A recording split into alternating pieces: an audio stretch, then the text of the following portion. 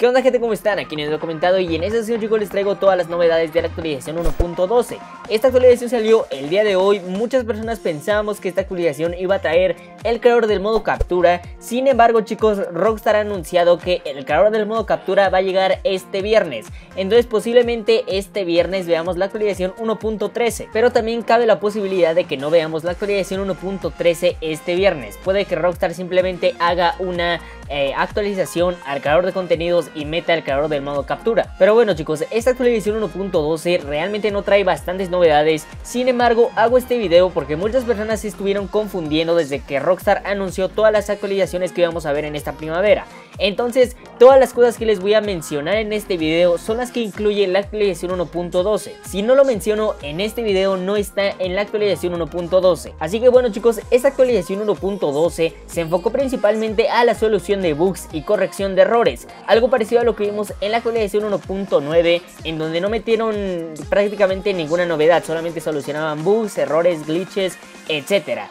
Pero en esta actualización 1.12 sí que hay algunas novedades, así que vamos a verlas. La principal novedad es la nueva opción que añadieron al llamar a Lester y la verdad es que es bastante cara, cuesta 5 mil dólares. Sin embargo, si la compramos, nos va a permitir hacer todo el desmadre que queramos, la policía no nos va a ver, no nos van a poner estrellas durante 3 minutos y la verdad es que si te sobra el dinero en GTA Online, eh, vale la pena comprarla. Es una nueva opción la cual sí ayuda, yo ya me lo esperaba desde hace muchísimas actualizaciones en GTA Online, eh, no sabía por qué Rockstar no la había incluido, pero va bastante bien, ¿no? Es un nuevo, una nueva opción que puede reemplazar a la opción de quitar a los policías. Pero algo que sí quiero aclarar chicos es que si compras esta opción y matas a un policía, eh, automáticamente se te va a quitar la opción y la, la, policía te va a empezar a seguir. Pero viene bastante bien por si tú quieres, no sé, empezar a a una partida muerte normal, no una partida muerte casera, por así decirlo, con tus amigos y que la policía no te llegue, o que si quieres entrar a la base militar pero no quieres estar huyendo de la policía, pues simplemente llamas a Lester, escoges esta nueva opción, obviamente pagas 5 mil dólares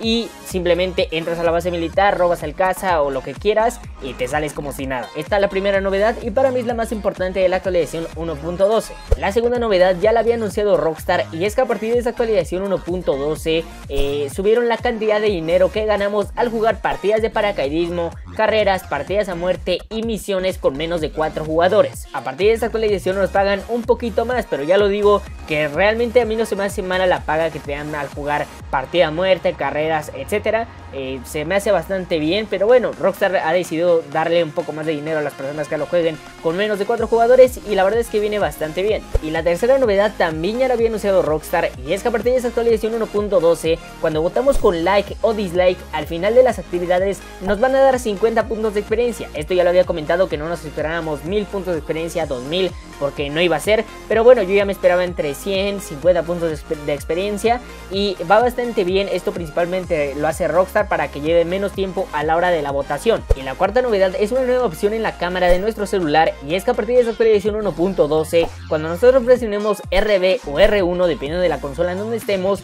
vamos a poder quitar la cuadrícula de la cámara de nuestro celular. Esto realmente yo no le veo ninguna utilidad, pero bueno, es una novedad de la actualización 1.12. Y por último chicos, unos cambios muy menores, unos cambios muy simples, eh, que la verdad es que la mayoría son corrección de errores, eh, solución de glitches, y cosas por el estilo, ¿no? También han agregado unas cosas al creador de contenidos, preparando la llegada del creador de captura, pero la verdad es que son cosas bastante simples, eh, son cambios menores y esto es lo más importante de la actualización 1.12. Ya lo digo, este video lo hago principalmente para que no se confundan chicos. En esta actualización 1.12 no podemos ver ni nuevos coches, no podemos ver las multipropiedades, no podemos ver nuevas armas, entre otras cosas que Rockstar había anunciado, ¿no? Les quiero recordar que Rockstar anunció el The High Life Update como una actualización que íbamos a ver antes de que acabara la primavera, sin embargo no dijo cuándo. Así que hay que tener paciencia chicos, el creador del modo captura va a llegar este viernes, así que estén atentos al canal porque voy a traer un video explicando cómo funciona. Y nada más chicos, eso es todo, espero que les haya gustado este video, ya sabes que si te ha gustado me puedes apoyar un montón con un like, no olvides compartir el canal con tus amigos para que cada vez sean más en GTA Invaders, al cual les hecho no olvides suscribirte, aquí abajo el botón de suscribirse y no olvides seguirme en mis redes sociales, ya saben que están aquí abajo en la descripción y van a aparecer aquí en la pantalla. Y sin nada más que decir chicos, nos vemos en el siguiente video. Adiós.